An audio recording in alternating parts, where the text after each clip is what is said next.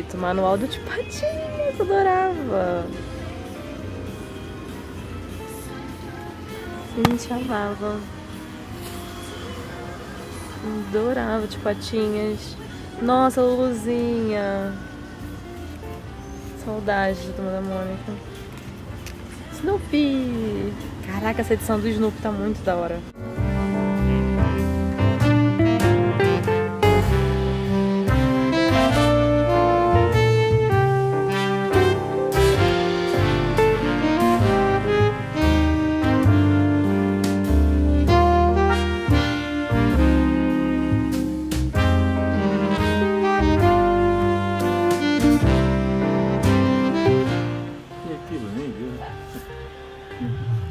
Que eu li na minha infância. Mentira que você leu essa edição. Foi essa edição que eu li. Caraca! Foi essa que eu. Eu jurava que você tinha lido na outra. Mãe falou assim pra mim, Luna, você Ah. gosta de ler mesmo, né? Ah, letrinha pequenininha. Eu era criança, morava na ilha, Bruno. Quando eu li isso aqui, eu morava na ilha, Bruno. E, e nem assim ela percebeu. Eu lembro. Bom dia, senhora. separado por tema? Tem um bom policial aqui, quer ver? Eu. Policial armado tem aí? É Policial armado. Esse aqui pode comprar de olhos fechados. Não, esse autor é excelente. Deve ser Então faz um teste. Faz um, faz um teste. É, não, aquele aqui, ó. Aquele aqui, ó. Ah, bonitão, coroa bonitão. Meu pai tá dando olha. Não, esse é Você botar sem preço? É de presente. Aí tem que falar com É muito da hora. Ah, pelo amor de Deus, olha aqui, vem com encarte ainda. Pô, olha só. Ainda vem com isso aqui, ó. Então você lê o encarte não precisa ler a história.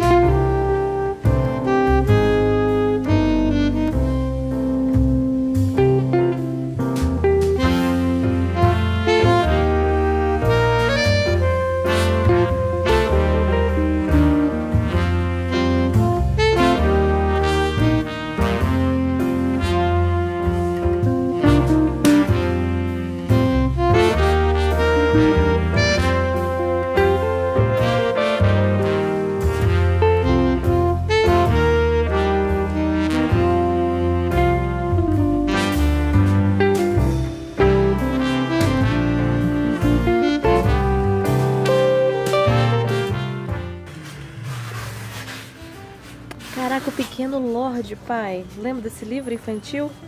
É da mesma autora de Jardim Secreto. Caraca, é da Melhoramentos. Deve ser muito antiga essa edição. Ó, os José Lins do Rego. O Fogo Morto. Gosto dessas edições assim, ó. É Muito... Nossa, que coisa linda. Que coisa linda. E não é cara as coisas aqui, gente. Perfeito. Jorge Amado. Os Pastores da Noite. Érico Veríssimo. O que, que você já tem aí em mãos? Luan Pondera. coisinhas Essas coisinhas. Esse fraquinho. Ah, é, eu tava procurando jeito de colocar de volta. Não. Emma Hess. Tá parecendo o John Lennon na capa. Parece o John Lennon na capa. Qual a bisnaga? Então, aquela grandona assim, que eu, então. que não era, não era... Bisnaga pra gente é bisnaguinha, né? É, pra nós aquela bisnagona. Que é aquele papel, né? Papel de pão. Papel de uma cerinha aqui. Esse bagulho aqui. Que da hora. Vamos limpar.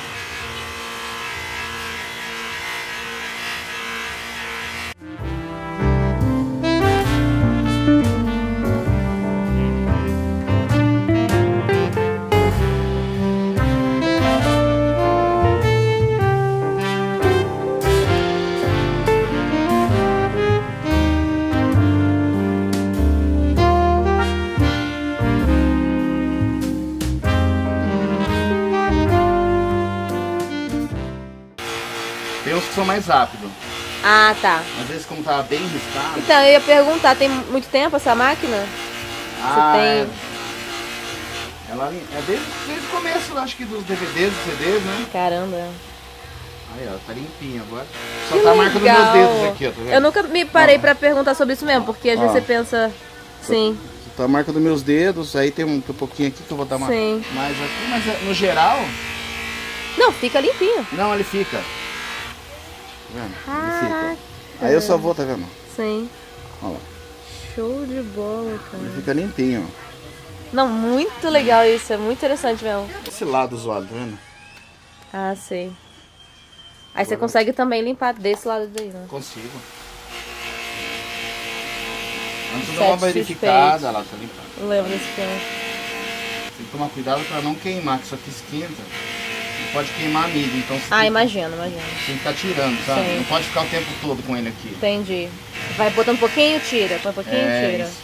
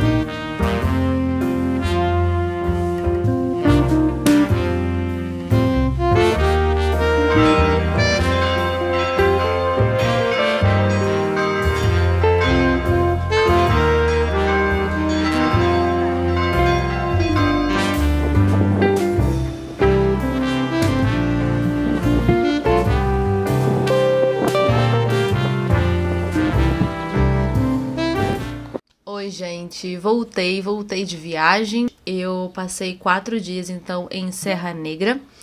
Foi gostoso, foi legal ter saído um pouco dessa rotina, essa batida, né, o tempo todo aqui presa dentro de casa.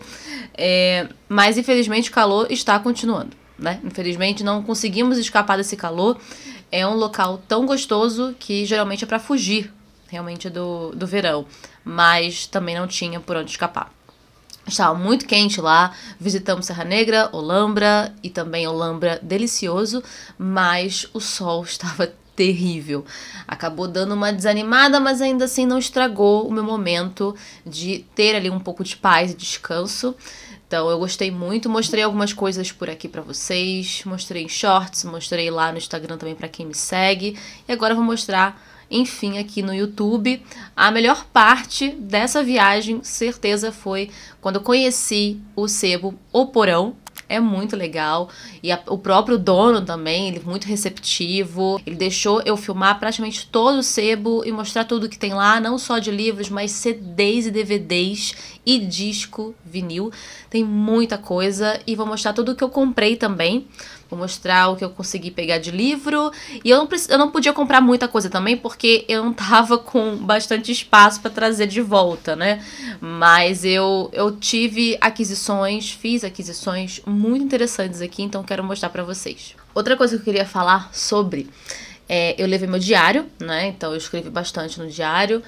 É, é muito, é muito gostoso estar num outro ambiente, ter um pouco de paz e poder deixar as ideias fluírem, né? E eu eu consegui fazer algo tão interessante que eu tenho gostado de fazer no meu diário, porque esse diário não é necessariamente algo que eu tô colocando ali, algo que eu criei, fictício. Não, é minha vida, entendeu? É um diário mesmo, minha vida. Mas eu coloco um pouco das minhas reflexões literárias, daquilo que eu leio e o que tem a ver também com o meu dia. E eu gostei de descrever o meu ambiente à minha volta sabe? Então eu descrevi, por exemplo, no momento que eu estava tomando um café lá no AP, eu descrevi o café e descrevi o que estava à minha volta de sons, por exemplo. O, o som do. Isso acontecia bastante. Todo dia de manhã batia sol lá. Então o sol batendo no ferro da porta da varanda, no quarto, fazia um barulho muito forte, que era como se o sol estivesse pedindo para entrar.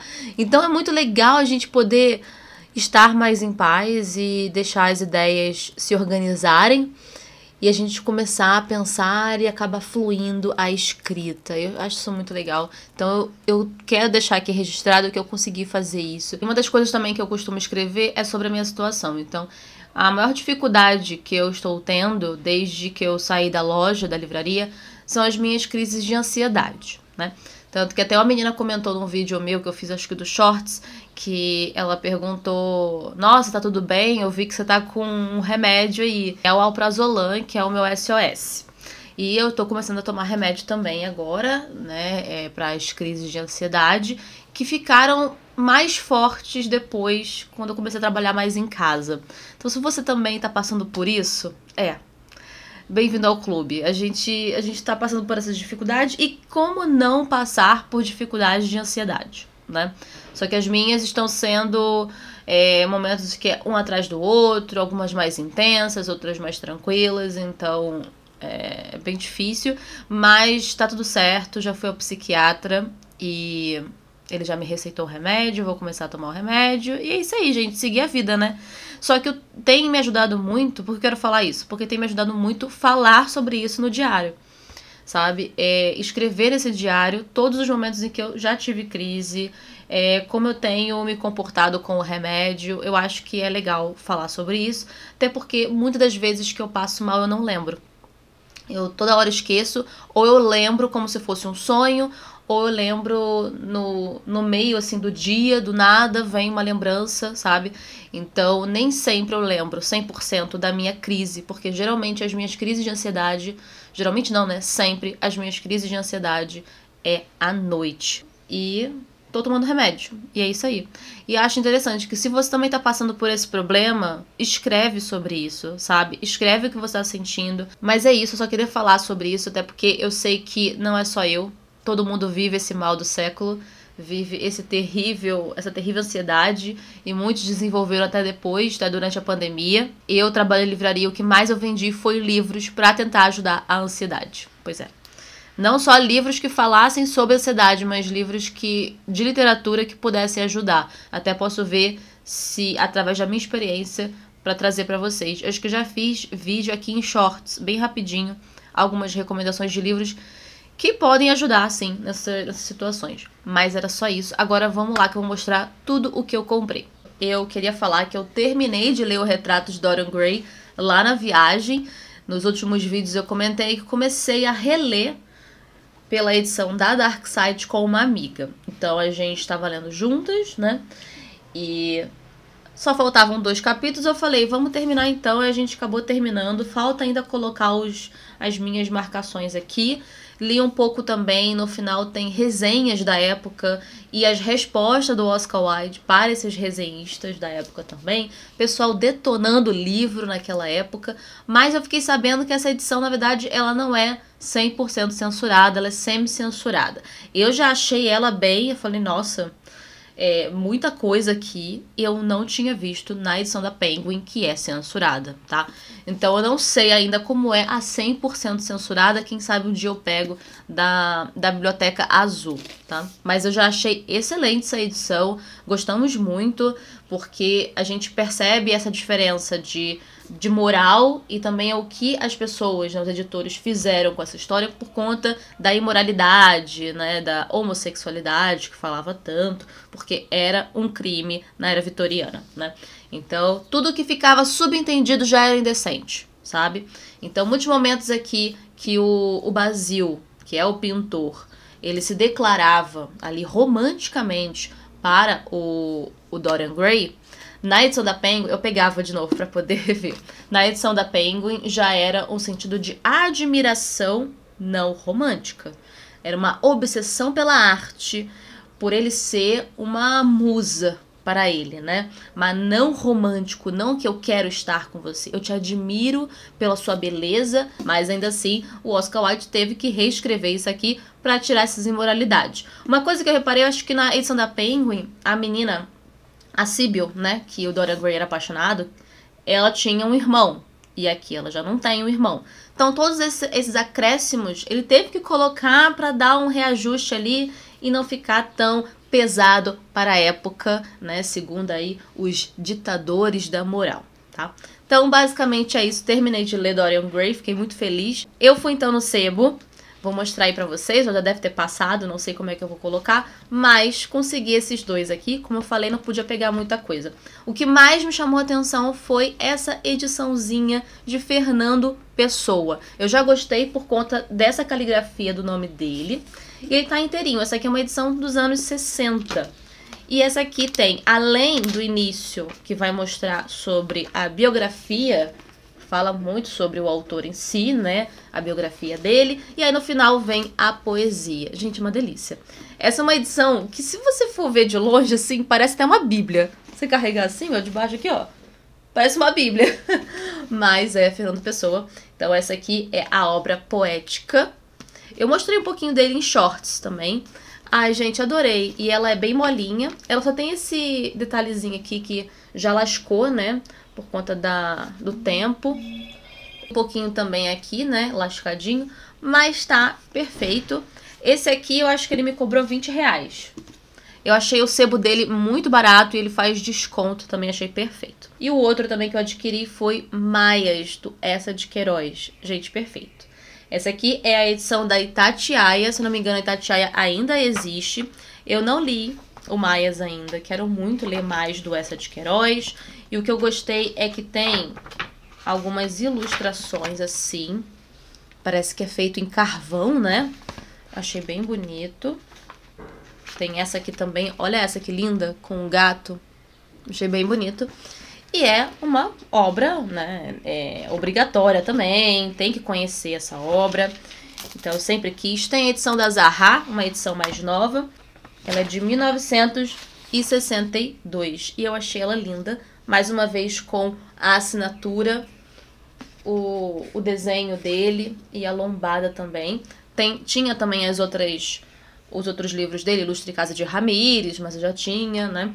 E os Maias, então sempre quis muito esse. Talvez não interesse a muitas pessoas, mas eu comprei dois discos e vou mostrar para vocês, vai passar aí. Então, se você não se interessar por disco de vinil ou por música, tá aí a minutagem para você pular, mas de livro foi isso. Mas por enquanto, eu vou colocar aqui. Por enquanto. Não sei ainda. Por enquanto vai ser aqui.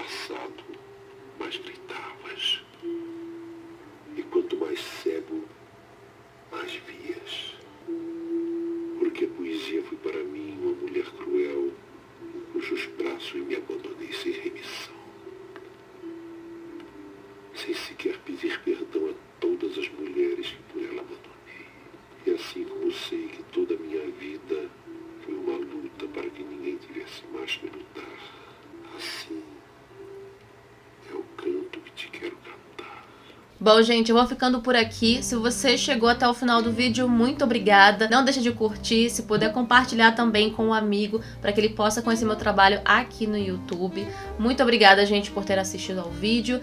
E sexta-feira sai o último vídeo do canal. E depois vai entrar aí um pequeno recesso para o Brune Livros. E eu retorno no dia 5 de janeiro com a programação normal aqui. Se houver alguma mudança, também eu vou comunicar, sempre deixo na comunidade as informações de tudo. Eu espero que vocês estejam bem, que vocês estejam bebendo água e suportando, infelizmente, o calor, mas se vocês puderem estar numa sombrinha, felizes, com o ventilador, um ar-condicionado ligado e com muito líquido e com seus livros, é isso que importa. Então, muito obrigada por terem assistido a mais um vídeo do Bruno Livros e até a próxima! Tchau!